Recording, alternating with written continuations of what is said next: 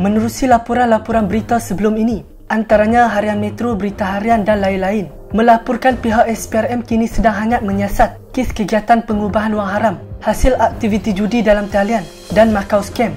Sebelum kita lanjutkan dengan isu kali ini, kepada anda yang belum lagi subscribe, apa kata anda subscribe dan tekan butang loceng untuk notifikasi video-video selanjutnya. Beberapa individu berpangkat Datuk dan Datin sudah direman termasuklah yang baru 8 pegawai kanan PDRM yang terlibat dalam kes tersebut. Porter Harian Metro sebelum ini melaporkan wujud menggunakan populariti artis untuk menjalankan aktiviti mencuci duit haram melalui pelbagai usaha sama dan perniagaan sah.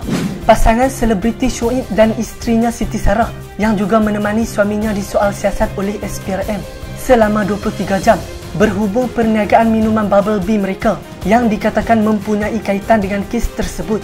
Menurut laporan berita harian, terdahulu pihak SPRM telah membekukan 750 akaun dengan simpanan kira-kira RM75 juta hasil aktiviti wang haram termasuk membabitkan selebriti dan usahawan kosmetik. Mereka telah menyita 24 buah kenderaan mewah dan motosikal berkuasa tinggi milik beberapa individu yang ditahan. Imej kenderaan yang disita tersebut telah dimaknai oleh Facebook Info Road Blog JPJ Polis yang mendapat perhatian netizen. Salah satu daripada kenderaan yang dimaknai di dalam Facebook tersebut telah mendapat perhatian ramai kerana kereta jenis Ford Rangers Raptor itu serupa dengan kereta yang dimiliki Shoaib.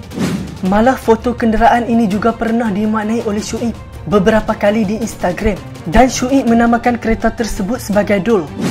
Melihat kereta-kereta yang disita oleh SPRM, netizen mendakwa salah satu kereta yang disita itu mungkin milik Shoaib sepatu.